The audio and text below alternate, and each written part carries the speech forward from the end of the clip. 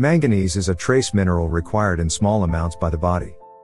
Manganese protects the human body against oxidative damage by functioning in superoxide dismutase. Superoxide dismutase is a ubiquitous antioxidant enzyme in our bodies. Manganese in the body. Manganese homeostasis, the metabolic equilibrium, is maintained by regulating its absorption and excretion by the human body. As with iron, manganese absorption increases when intake is low and decreases when intake is high. Manganese is eliminated by secretion into the intestinal tract in bile. What does manganese do? Manganese helps produce energy through the metabolism of carbohydrates, fats, and proteins. The manganese containing enzymes are involved in the metabolism of amino acids, carbohydrates, and cholesterol. Manganese is also involved in brain function.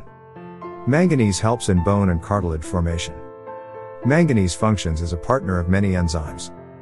Manganese is a constituent of some enzymes and an activator of other enzymes. Manganese requiring enzymes are also needed for urea synthesis in our bodies and antioxidative protection for cells. How much manganese does the human body need? For males aged 19 and older, AI, the recommended average daily manganese intake is 2.3 mg daily. For females aged 19 and older, the AI is 1.8 mg daily. During pregnancy, the AI increases to 2.0 mg daily, and during breastfeeding, to 2.6 mg daily.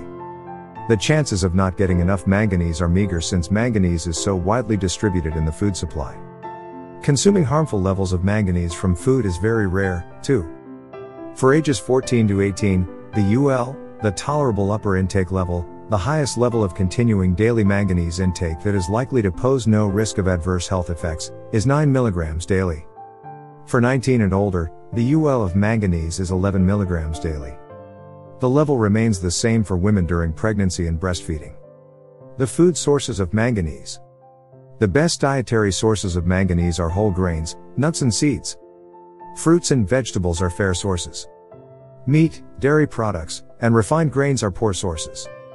Sweet potato, pecans, brown rice, tea, pineapple, whole wheat bread are excellent sources of manganese.